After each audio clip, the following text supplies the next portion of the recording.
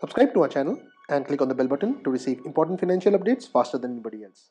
Welcome to another video on your channel Profit Equities. In this video, we will be talking about a very high quality company which Saurabh Mukherjea has highlighted as his top stock pick for the next decade. Please watch this video to know more about this company.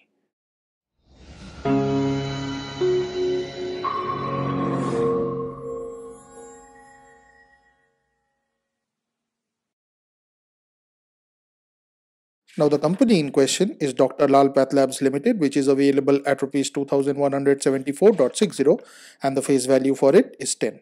The symbol for it is LALPATHLAB. Now Dr. Lal Path Labs Limited engages in the business of running laboratories for carrying out pathological investigations. It is also involved in providing diagnostic and healthcare tests and services. The company was founded by S.K. Lal in 1949 and is headquartered in Gurgaon, India. Looking at the one year chart, this company has been on a beautiful uptrend for the entire year. The market cap of the company is 18,124.18 crores, which means that this company is a mid cap one.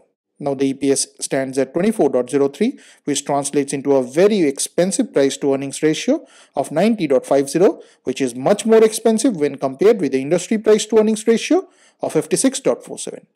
The price to book ratio of 17.19 is also very, very expensive. The dividend yield here stands at 0.55%, whereas the promoter holding is a decent figure of 55.23%.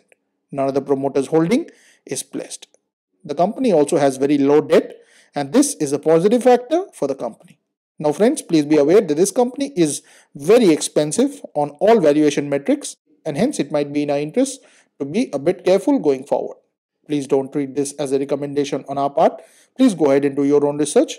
This and all other content that you see on our channel is intended only to be a piece of news. Thanks for watching and if you have not already subscribed to our channel, please consider doing so.